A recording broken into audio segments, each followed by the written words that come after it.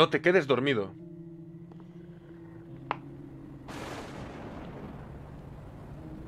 La torrencial lluvia que en ese momento caía en aquel olvidado pueblo había causado que sus residentes se quedaran sin luz. Pero ese era uno de sus menores problemas.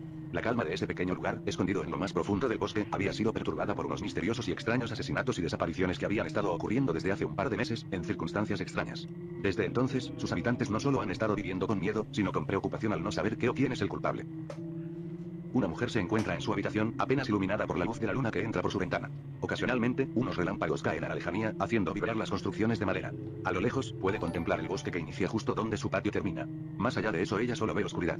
Pero entonces nota algo raro. Entre los árboles, a unos cuantos metros de su patio, hay algo. No lo puede distinguir, pero lo puede sentir. Siente una mirada fría posándose sobre ella. Un relámpago cae nuevamente. Y entonces, por unos cuantos segundos, ella lo ve con más claridad. Hay alguien ahí, de pie, sonriendo de una manera grotesca, y con una mirada que le termina por helar la sangre. Otro rayo cae solo para mostrarle que ya no hay nadie ahí. Piensa que, tal vez, fue su imaginación jugándole una mala broma. Vale. Sí, eso debe ser, se dice a sí misma. Pero quiere estar segura.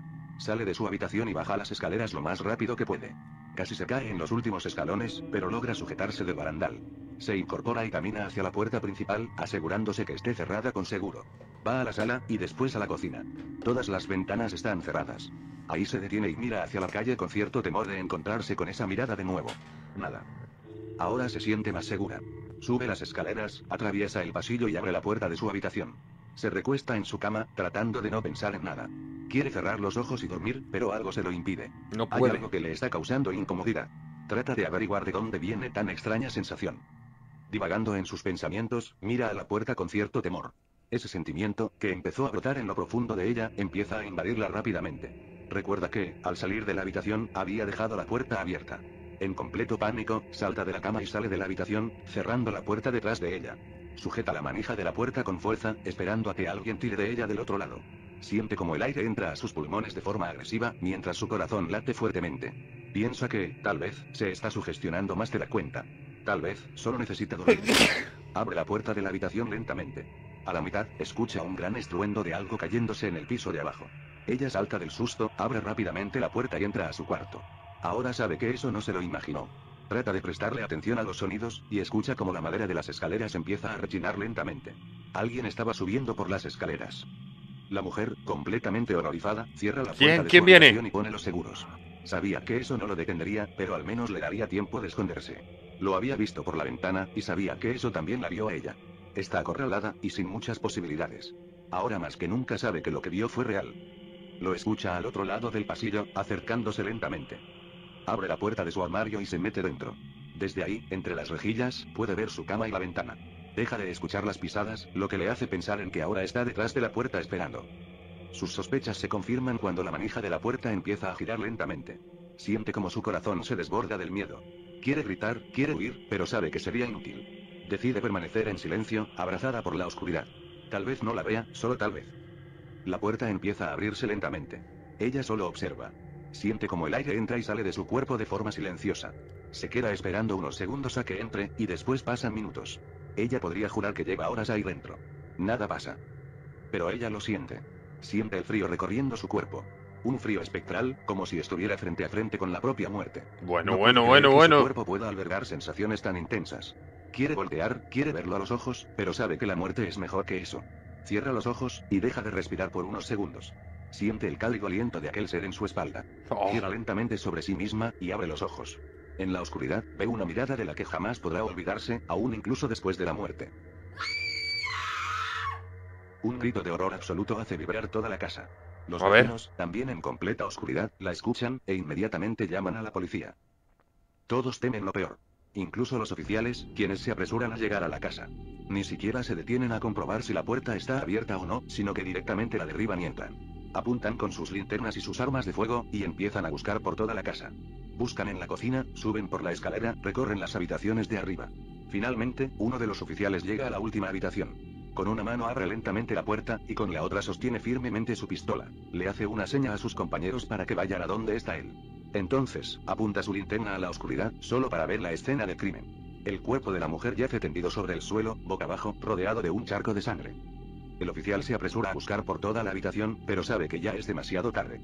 El responsable ha escapado, nuevamente. Todos bajan sus armas con resignación. Ninguno se muestra sorprendido. De hecho, saben muy bien que no es la primera vez que aquello ocurre. Al revisar a detalle, se dan cuenta de una pista que podría acercarlos a conocer la verdad. Deciden llamar al detective encargado del caso, para que la vea él mismo. Unos minutos más tarde, en medio de la lluvia que no parece tener fin, llega el detective. Le basta con observar la escena del crimen para saber que se trata de los mismos incidentes que han estado ocurriendo en la localidad. Pero, tal y como los oficiales se lo comentaron, esta vez es diferente. Ni siquiera pregunta qué descubrieron, pues lo ve a simple vista. Toma su celular rápidamente y ¡Ojo!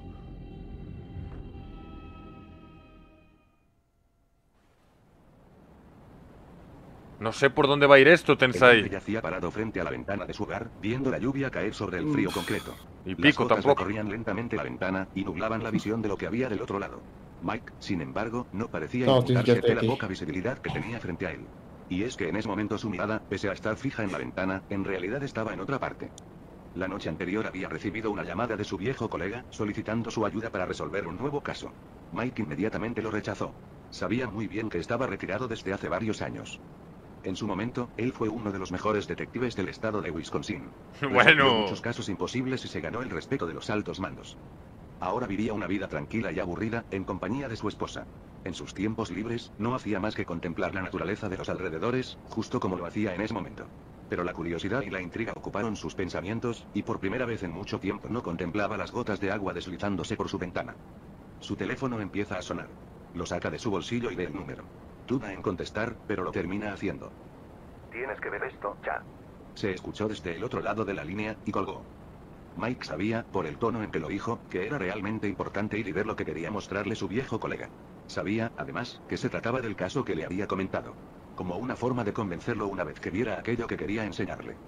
No quería preocupar a su esposa, quien estaba durmiendo en su habitación, así que simplemente tomó un abrigo, se metió a su auto, y empezó a conducir en medio de la tormenta. Tardó aproximadamente dos horas en llegar al lugar. Estando en el pueblo, no tuvo que preguntar a dónde debía ir. El bullicio de los pobladores, junto con las luces de la ambulancia y los vehículos de la policía indicaban el lugar. Se estacionó a unas cuadras, y empezó a caminar. En el sitio ya lo esperaba su viejo amigo, a quien abrazó al verlo. Espero que sea realmente importante, dijo Mike.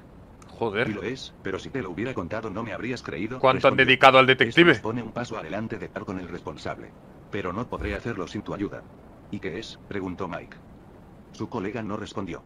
En su lugar, señaló a la casa, y le hizo una seña para que lo siguiera. Mike fue detrás de él. Atravesaron la puerta que colgaba de las bisagras, subieron las escaleras, y llegaron hasta la última habitación. El cuerpo de la mujer ya no estaba, hace 30 minutos se lo habían llevado. Solo quedaba la escena del crimen. ¿Y bien? preguntó, sin saber qué era lo que debía ver. Su compañero señaló a la pared, y no dijo nada más. Mike miró a la pared. No alcanzaba a distinguir nada. La luz de la luna apenas si podía atravesar la tormenta que seguía cayendo. Y entonces, un trueno cayó justo a las afueras de la casa, iluminando la habitación. Eso le permitió ver brevemente el mensaje que estaba en la pared, y que lo hizo congelarse del miedo. En aquella pared, escrito con la sangre de la víctima, se podía leer una sola frase. Ve a dormir. Vete a dormir. Voy. No entendí. Tampoco. no entendí. No entendí. Bueno, la puso a dormir, pero rápido. Prohibido por Dios es el título de la creepypasta.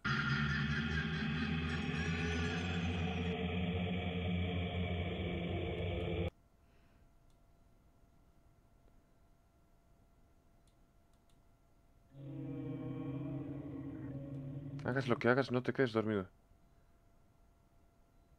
Es una referencia a Jeff the Killer. Era. Era una creepypasta de Jeff the Killer. ¡Ah! ¡Es- es- ¡Qué, gente! Era una creepypasta de Jeff the Killer, sin contexto. Como sugiere que el avatar de, de esta persona sea Jeff the Killer.